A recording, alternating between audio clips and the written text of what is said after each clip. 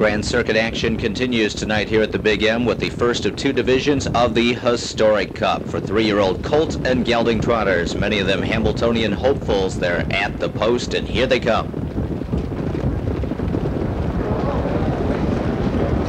And they're off. Yankee Mustang gets the first call. Star Rail leaves quickly, though, right to his inside. These two trotting out together toward the front. CR Kinetic came away well in third. PJ Punjab alongside him fourth. Yankee Great is caught three wide early. Fishing Clinic is in behind a wall of horses. Kremlin Conspiracy moves up toward the rail, and Right Rigger trails the field. So Yankee Mustang had little trouble problems getting to the front. He's a length and a half clear and well in hand as they head toward the quarter. Star Rail is second. CR Kinetic is third. Opening panel was in a soft 29 and 2. Kremlin Conspiracy up the rail is fourth. PJ Punjab is parked to his outside. Yankee Great is racing sixth on the outside. Under a big hold, Right Rigger is seventh, and Fishing Clinic's in a tough spot. He's behind Dull Cover, behind this very slow pace, eighth on the outside as they head toward the half mile marker. Yankee Mustang dictating the terms here, controlling the tempo. Star Rail content to draft along in the pocket, and CR Kinetic pylon ride so far in third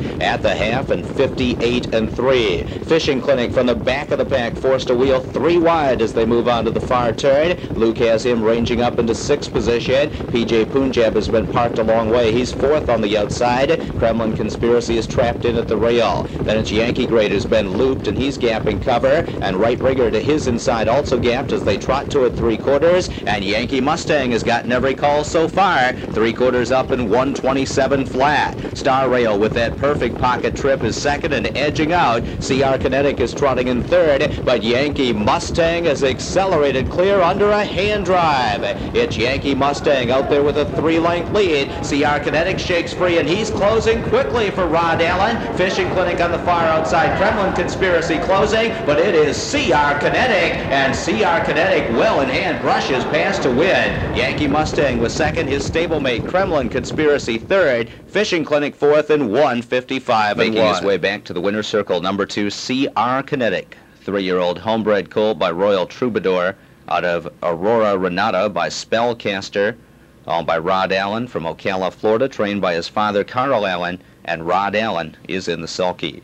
The Allens have developed many top trotters over the years, including the sire of CR Kinetic, Royal Troubadour, and the Sire of the Dam Spellcaster as well, campaigned by the Allen family. CR Kinetic, their top Hambletonian hopeful for this season, scoring here impressively well in hand in 155 and 1 fifth. In the winner circle to make the trophy presentation for the Historic Cup, the Meadowlands welcomes Tony Abatello, presenting to the Allen family CR Kinetic winning driver Rod Allen. Number two, CR Kinetic, 1040, 540, 480. Finishing second, the 1A Yankee Mustang, 6 even, 660. His stablemate Kremlin Conspiracy was third. 2-1 Exacta, 56 even. The trifecta pays on the 2-1-4 combination. The Historic Cup has gone to the Allen family, Rod and Carl. Rod, uh, tell us about the first two races of the year. You went to Canada, first start out, you came bursting out of the box, and last week you made a miscue.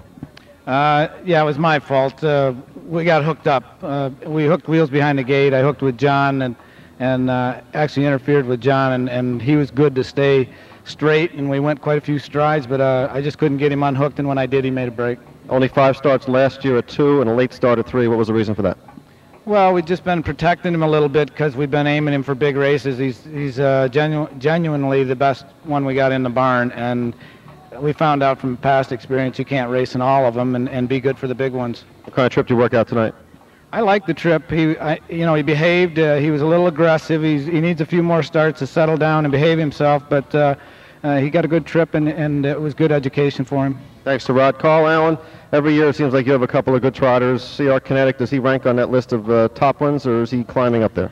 Oh, he's right at the top. Uh, I don't know why more of the breeders don't breed the Royal Troubadour because he just put a tremendous amount of speed in them, and it's easy to train those because they can all go fast to start with. When you had Royal Troubadour, he was a two-year-old of the year, but it seems to be carrying over to three here.